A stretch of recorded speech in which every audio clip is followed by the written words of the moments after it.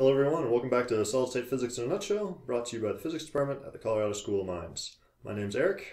And I'm Nicole. Last time we developed a relation between our wave vector q and the frequency of oscillations in a solid called the dispersion relation. Although we plotted omega over all values of q, only certain values of q will result in something physically reasonable. Today we're going to look at what those values are and how to get phase and group velocity information from our dispersion relation. Recall we defined our displacement for a particular atom at position n as a plane wave like so. Let's begin by looking at the ratio of displacements between atom n and its neighbor at position n plus 1. So after some canceling, we end up with e to the i qa. And to cover the whole unit circle, qa would need to be between minus pi and pi. So q would be between minus pi over a and pi over a. And minus pi over a to pi over a is the first Brillouin zone, right? Yeah.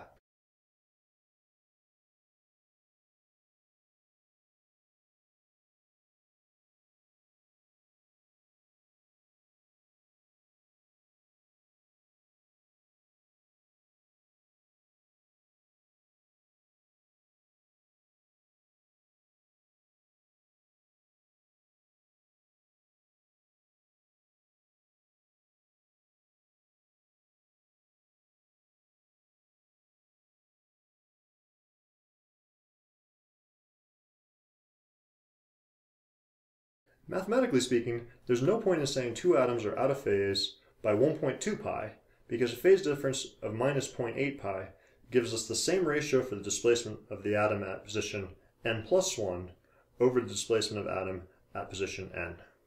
But then what if we have a q vector outside this range? Do we just ignore it and only look at those inside the first Brillouin zone? Well, we could, but instead we could shift q by our reciprocal vectors until it was in the right range.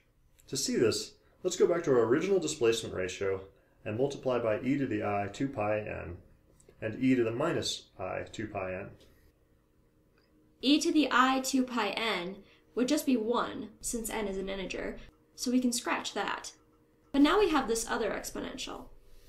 Right, but now let's define a new wave vector q prime that equals q minus 2 pi n over a.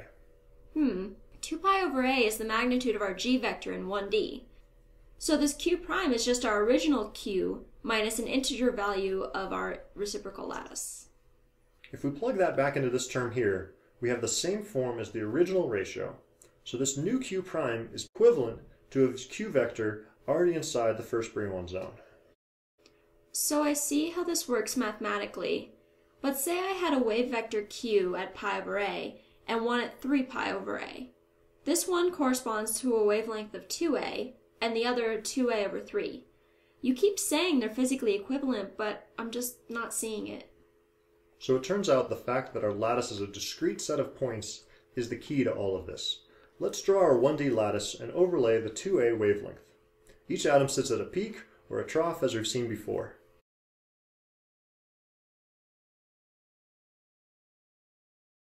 Now let's look at the same lattice with a wavelength 2a over 3. The atoms still sit at peaks and troughs, so they experience the same out of phase motion that they did with the other wave. Okay, so that's how two different wave vectors can give the same physical result. So really, one should think about this as a visual representation of the Nyquist frequency. What's that? Think about electronically sampling a wave. At some period, you're only going to be able to sample peaks and troughs.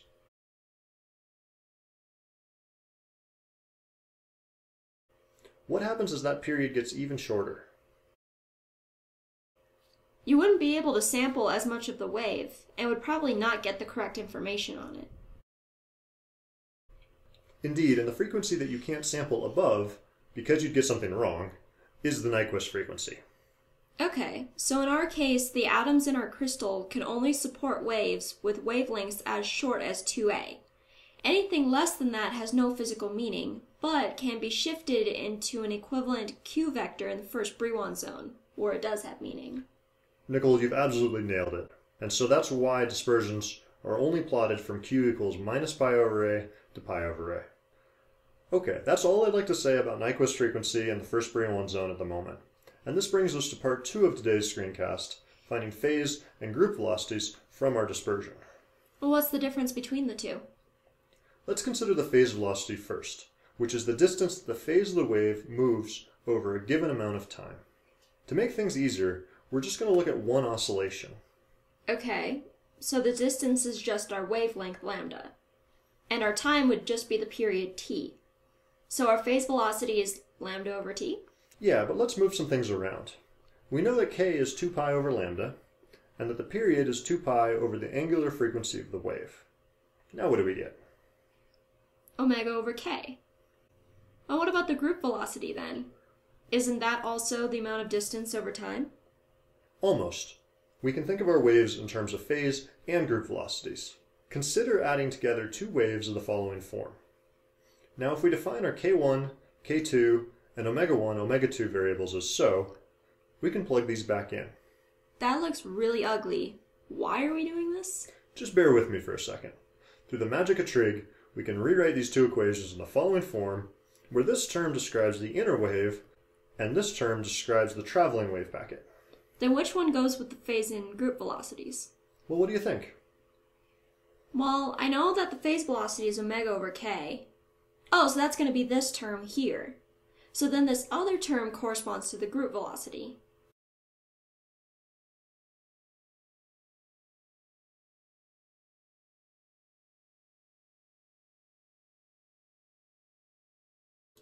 Going back to our dispersion then, does that mean that all of our phonons have different group velocities? Looks like it's a good time for a recap. Today we found q values between minus pi over a and pi over a will give us physically significant waves within our dispersion. Then we used our dispersion to find the phase and group velocities of our wave. Before we end today's video, it'd be a good idea to plot waves with frequencies higher than the Nyquist frequency and try to convince yourself you can get the same result by a wave shifted by 2 pi over a.